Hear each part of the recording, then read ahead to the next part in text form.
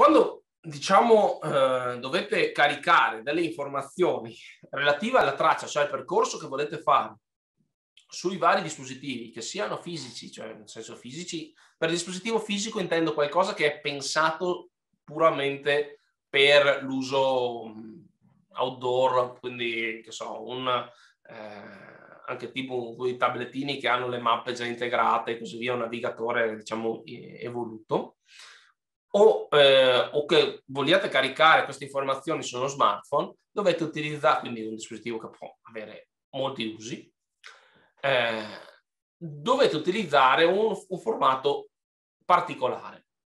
Ne esistono di diversi, ovviamente, se parliamo di dispositivi eh, diciamo dedicati, a volte hanno anche dei formati particolari, che io non, qui non, non, non, vi ho citato, ma in genere uh, questi formati vanno bene per tutto, nel senso che sono formati facilmente convertibili in altro.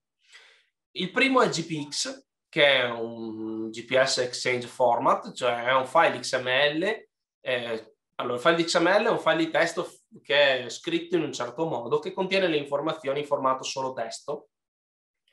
E eh, questo, questo, formato, dopo eventualmente lo, lo, posso anche far vedere, contiene le informazioni di eh, posizione e non solo, perché le ultime evoluzioni tengono anche il battito cardiaco, la potenza e così via ed è un formato di testo, quindi può essere tranquillamente utilizzato in quasi tutti i programmi. Poi, allo stesso modo, esiste il TCX, che è la versione del GPX della Garmin, fondamentalmente, che è comunque un formato standardizzato in XML, anche quello.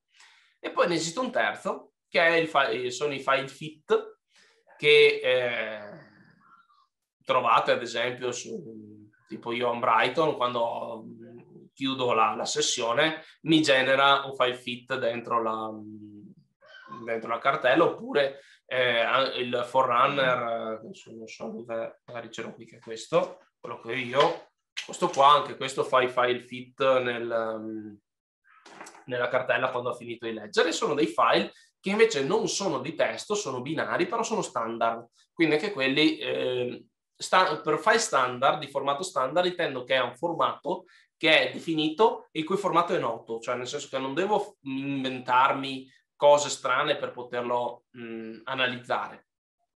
Semplicemente, cioè, semplicemente il formato in cui è fatto è pubblico e quindi chiunque può scrivere dei software per poterlo elaborare. Per l'appunto, eh, vi lascio qualche software utile, qualche nome utile per poter editare e convertire le tracce GPS. GPS Bubble è una manna, nel senso che converte praticamente tutto. Adesso facciamo anche vedere. C'è la tabellina. Okay.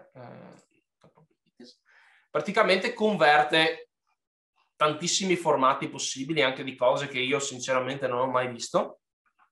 Però Diciamo, se volete convertire un file fit in GPX, con questo lo fate senza problemi. Quindi, eh, diciamo, questo è, è, un toolkit molto utile. Poi, eh, GPX Editor, che è un software per modificare i file GPX. Come vedete, non so gli indirizzi a memoria, ma basta andare su, su Google e li trovate. No, non è questo. Magari vi, ma vi mando le, è questo qua qua che posso andare a mettermi i metadati, le cose che, eh, sui waypoint per posizionarmi, diciamo, la sequenza dei punti ed è utile per ritagliare eventualmente dei i file, i file GPX. Poi, eh, vabbè, se dovete creare delle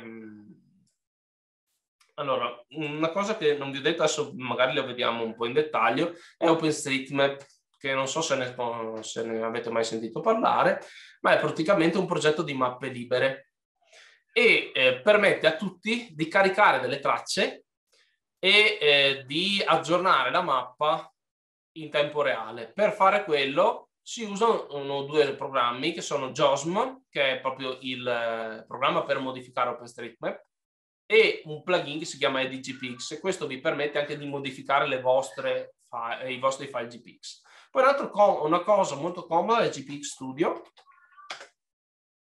che è un editor online, facciamo allow così, è un editor online direttamente da GPX, quindi io vado qua, posso andare so, a fare draw e mi vado a addirittura mi fa il mi prende le strade adesso l'ho fatto in maniera molto molto molto semplice io mi trovo qua anche un, una posizione cioè mi trovo il, il profilo altimetrico già, già espresso e questo lo posso andare a esportare e eh, me lo, me lo permette, mi permette di, di, scaricare il file proprio GPX che se io adesso vado ad aprire con un file eh, con un editor di testo vado a vedere come è fatto dentro per esempio vedete è un file che potete leggere e modificare anche a mano volendo.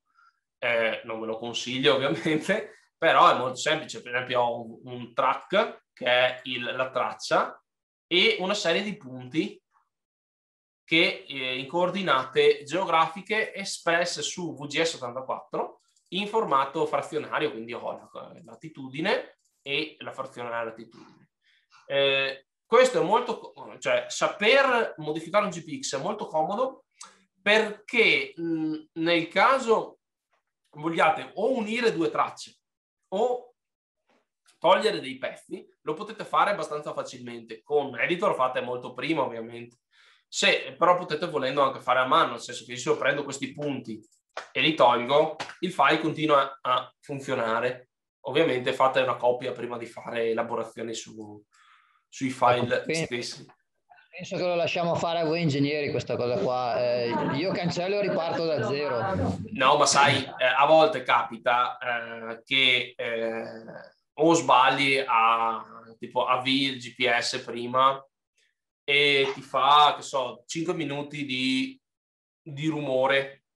Adesso se lo carichi, questo, questa informazione poi la caricate, che so, su Strava o su Komoot, in genere eh, viene filtrato in automatico perché ti trova la stessa posizione. Però una volta non era così.